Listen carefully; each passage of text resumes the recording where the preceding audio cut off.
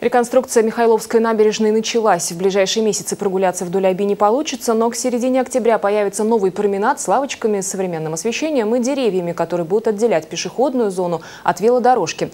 Как идет реконструкция, увидел Михаил Якимов.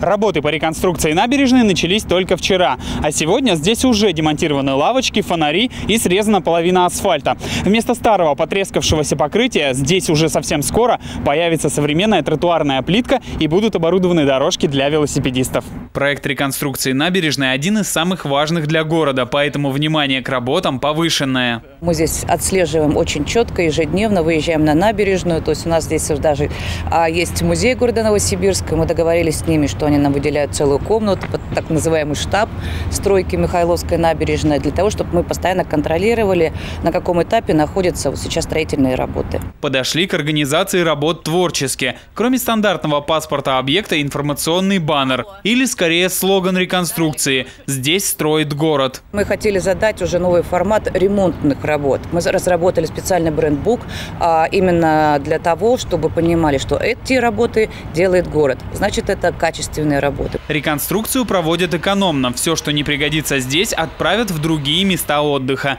Например, сцену в парк Первомайский, фонари в Пашино, а лавочки в Троицкий сквер. Брусчатку мы демонтируем, и так как она в удовлетворительном состоянии, для того, чтобы она не пропадала, приняли решение коллегиально о том, чтобы ее а, применить для благоустройства в одном из э, парков города Новосибирска. Это будет парк э, у моря Обского.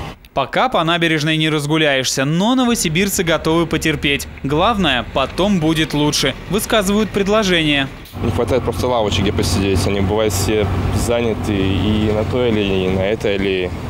Так что только этого и уровень. Велодорожки, чем они будут хороши? Тем, что пешеходам не будет опасности от велосипеда.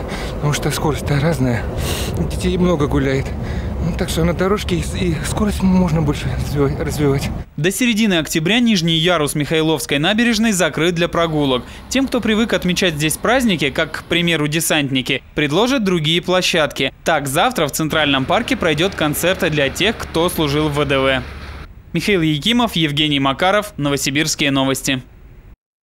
Спасибо за то, что смотрите «Новосибирские новости». Если вы хотите оперативно получать информацию, подписывайтесь на наш канал. Ссылка внизу. А здесь мы разместили для вас интересное и полезное видео. Приятного просмотра.